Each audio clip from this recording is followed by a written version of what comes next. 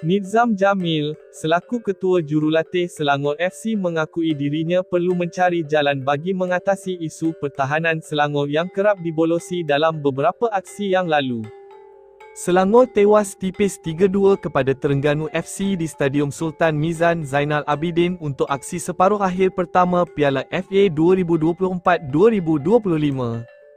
Kekalahan tersebut merupakan kekalahan ketiga Selangor untuk musim ini dan semuanya berlaku di gelanggang lawan iaitu ketika menentang Kuching City FC, KL City FC dan terbaru tewas kepada pasukan Terengganu FC.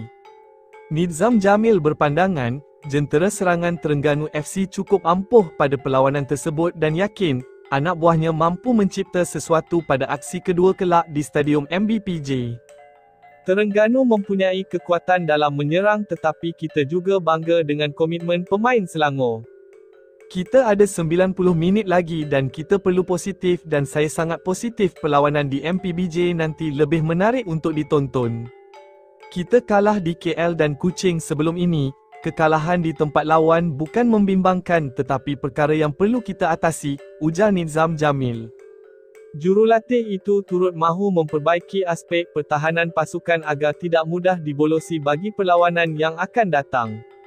Awal 2-3 perlawanan kita tidak bolos tetapi beberapa perlawanan lalu ia sering terjadi, satu gol dan dua gol. Saya hormat pasukan Terengganu, ada satu gol dari sepakan percuma, satu gol dari luar kotak penalti dan satu gol dari Akinadeh yang menggunakan kelebihan fizikalnya. Kita kena mengatasi masalah-masalah yang mereka akan berikan.